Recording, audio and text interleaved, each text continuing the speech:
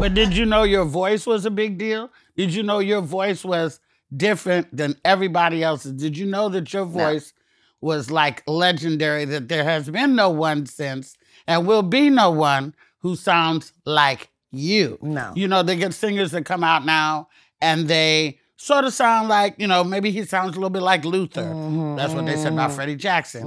Or maybe they sound somewhat like uh, uh, Aretha, maybe the Jennifer, uh, uh, Yeah, yeah, you yeah. whatever.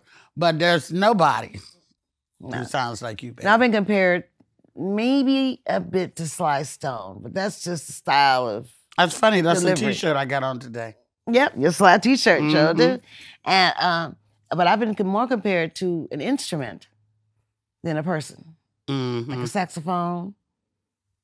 You know, it's been, and, and I consider myself a horn.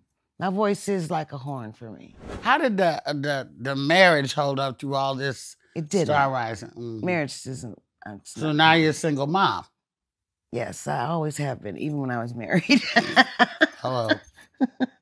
hmm How did how was that? You know, I know it how- was, you know, it, you know, it's a, t- it's tough. The toughest part was not so much leaving my husband; it was leaving the kids because they want.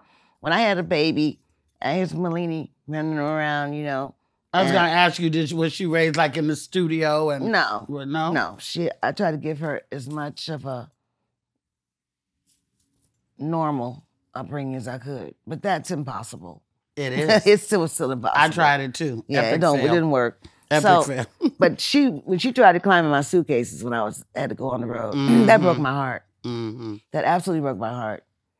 So, um, I mean, even from the I, when I first had her, I breastfed her for a year. So I had her on the road Good with Lord. me. I had her on the bus. We were on tour buses. So I had her little bassinet on the tour bus. I laid on top of the motor in the back, and she'd sleep forever. You know, that good chocolate milk, and then put her down to on top of the motor. But well, uh, as you talk about these tour buses, it r- raises the image in my mind of, you know, the Motown tour and what they've had to endure traveling and on the buses. Did you have to go through? Did you guys face much racism then uh, traveling? Yes, we around? did. Yes, yeah. Because we had to stop at truck stops to eat. You know, when we were playing in the southern states and even the Midwestern states. Truck stops Everywhere, the whole- food though. Yeah, Good, damn good food. Still today. Right. But all over the, the, the you know the United States, you know, there, you know, there was there's always been that undermine underlying you know racism, you know, amongst the the working class, and we were like uh, having to try to eat, and you know, so but it's, we, we always had like a couple of white guys in the band. We would take orders if we saw it was Oh. extra rough.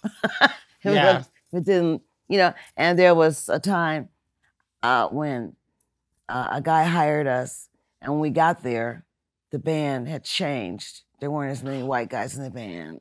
Uh, Tony and Bobby had joined, so that Yeah, because there was a lot of uh, transition yes, in Rufus, yes, correct? there were. Yeah, yes, there was. Huh. Uh, but there was always the core: Tony, Tony Maiden, Bobby Watson, and myself, and Kevin Murphy, who is who is uh, from Minnesota, and he's the one white guy that's stuck in there.